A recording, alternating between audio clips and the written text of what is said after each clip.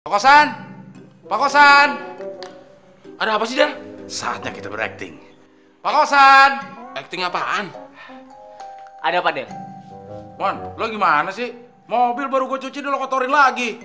Sebelum kamu lanjut untuk nonton video ini, aku pengen kamu untuk subscribe, oke? Subscribe di channel ya. Dan jangan lupa nyalain loncengnya. Coba aku tunggu. Oke, thank you udah subscribe. Nah, sekarang Cindy udah tahu kan caranya? Iya. Sekarang Cindy coba selesaikan soal dari Tante. 18 dibagi 3 jadi berapa? Jadi habis. Kok habis? Ya kan kalau biasanya Pak Temun bagi makan di meja put bertiga, Papi, Randy sama Kak Cindy pasti langsung habis dimakan. Iya, Randy apaan sih? Ini bukan soal makanan sayang, tapi ini soal matematika. Tahu nih, ganggu aja. Ya udah, sekarang Randy coba selesaikan soal dari tante itu. Nanti kalau ada yang nggak bisa, baru tanya. Iya tante. Maaf Bu Siska, saya boleh pinjam waktunya sebentar gak? Ada yang mau saya bicarain. Pinjam waktu. Iya, nanti kalau udah selesai saya balikin lagi deh. Itu namanya bukan pinjam waktu, tapi minta. Iya deh, minta. Yuk, sebentar Bu Guru. Anak-anak, Om Abdel minta Bu Gurunya dulu ya. Ah, minta bu guru. Iya, tadi katanya suruh minta, nggak boleh minjem. Sini Bu. Ada apa sih? Eh, saya kan disuruh cuci mobil sama Pak Kosan. Tapi saya males Bu, badan saya lagi meriang. Maunya sih ntar-ntaran aja. Tapi jangan sampai dimarahin sama Pak Kosan. Gimana Bu? Jadi mau ngeles nih? Iya, kan denger-denger Ibu jago ngeles. Dengar dari siapa? Denger dari denger-denger Bu. Ya udah, saya kasih tahu caranya ya. Tapi jangan terus dipakai setiap hari. Emang kenapa kalau saya pakai tiap hari Bu? Jadi lecek. Gini caranya. Sebelum kosan nanyain mobilnya, kamu langsung pura-pura marah duluan. Seolah-olah kamu kesel. Soalnya mobil yang udah kamu cuci, udah ada yang ngotorin lagi. Nah, pasti kosan bakalan maklum kalau mobilnya masih kotor juga.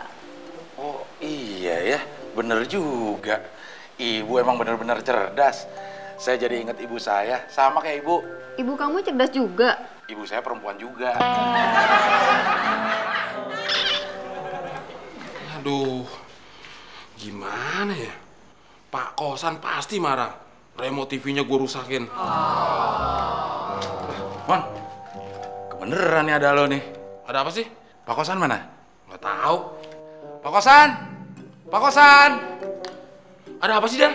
Saatnya kita berakting. Pak Kosan! Acting apaan? Ada apa, Del? Mon, lo gimana sih? Mobil baru gue cuci dulu kotorin lagi. Siapa yang ngotorin? Di mobil itu ada sidik jari segede talas. Jarinya siapa lagi segede talas kalau bukan lo?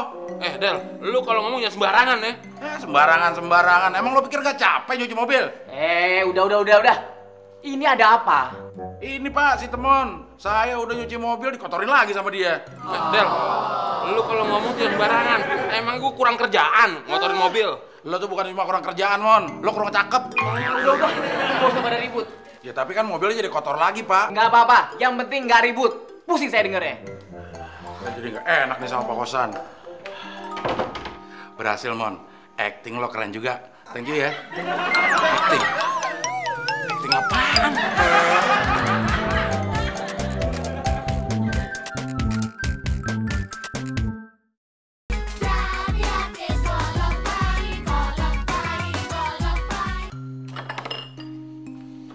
Eh, Del. Tadi maksud lu apaan sih? Acting, acting, acting, acting. Udah itu menuduh gue sembarangan lagi. Ya elah mon. Gue cuma ngikutin sarannya Bu Siska. Bu Siska nyaranin lu untuk marahin gue. Bukan begitu mon. Gue ngikutin saran Bu Siska supaya gue gak dimarahin sama Pak Kosan. Gue lagi males cuci mobil mon. Oh gitu ya? Biar nggak dimarahin sama Pak Kosan. Iya. Berarti gue bisa dong. Bisa, bisa. Bisa apaan lo? Otak lo aja dikit mau nyamain Bu Siska. Bukan bisa itu maksud gue. Lo bisa apaan? Bisa minta saran sama Bu Siska juga. Iya lo bisa. Tapi Bu Siska bisa gak ngadepin muka lo? Nah, Nah, jadi kalau ada orang yang kasih sesuatu sama kalian, kalian bilang apa? Thank you. Bagus. Sekarang, kalau ada orang bilang thank you, kalian jawab apa? You're welcome. Pinter. Tante, kalau misalnya kita bilang thank you, tapi orangnya nggak mau jawab apa-apa, terus kita ngomong apa? Yuk kejar. Ya nggak gitu juga sayang. Permisi Bu Siska. Saya jadi kan boleh ikut les. Maaf Pak Temon, ini les khusus untuk anak-anak. Tapi Pak Kosan sering bilang, eh Temon, kelakuanmu itu kayak anak-anak. Gitu. Itu kan kelakuannya. Kalau mukanya nenek-nenek. Eh, anak-anak, nggak boleh ngomong gitu sama orang tua. Dia kan bukan orang tua. Terus apa dong? Orang utan. Ya udah deh. Kalau saya nggak boleh ikut les, saya minta saran aja deh dari Bu Siska. Saran apa? Saya tadi mecahin remote Pak Kosan. Nih. Pasti kosan marah besar tuh. Ya iya, makanya sekarang saya minta saran sama Bu Siska, gimana supaya Pak Kosan nggak marah sama saya. Ya jangan dipecahin tuh remote. Mana remote TV-nya ya? Kata Bu Siska, kalau Pak Kosan nyari remote TV, gue harus pura-pura lihat kecoa ada di kakinya. Terus buru-buru gue matiin kecoanya pakai remote ini. Temon! Mon! Eh, iya Pak. Remote TV saya mana? Di sini nggak ada, Mon. Acting dimulai. Ada apa, Mon? Ada kecoa di kaki Bapak.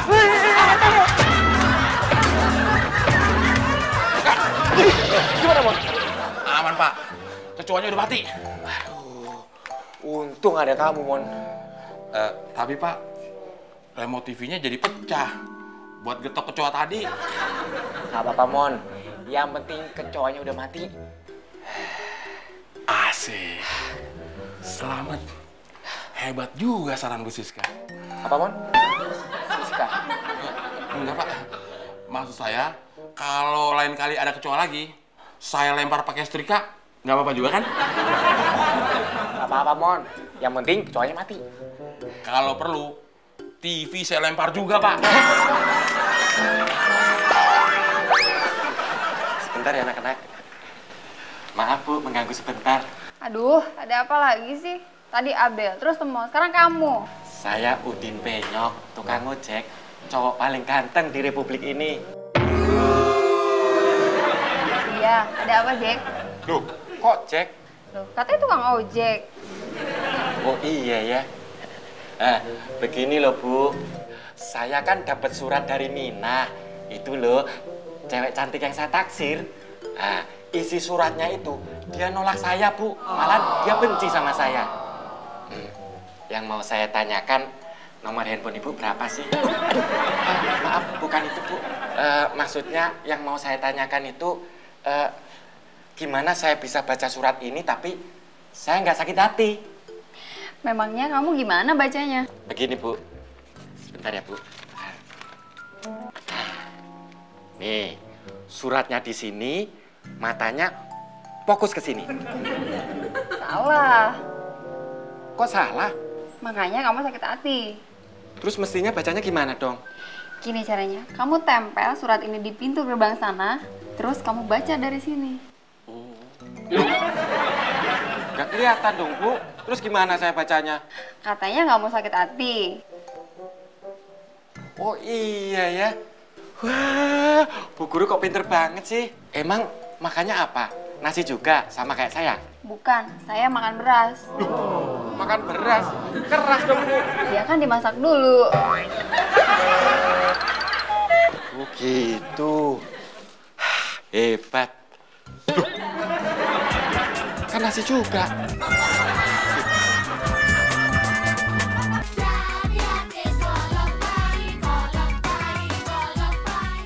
Sebentar, Sis. Nih. Sebelum lu pulang, gue minta saran sama lu. Saran apa? Gini, lu tau kan, pengasuh anak gue yang baru, ganjil minta ampun. Iya tahu. Kenapa? Lu suka sama dia? Marah aja lo. Justru gue itu pengen menghindari dia. Ya lu pecat aja, apa susahnya sih? Masalahnya gue masih butuh dia untuk ngurusin anak-anak. Soalnya si Neni pengasuh yang biasa yang lagi pulang kampung. Ya udah gini. Kalau lu lagi di depan dia, lu usahain sering-sering pegang tangannya Temon.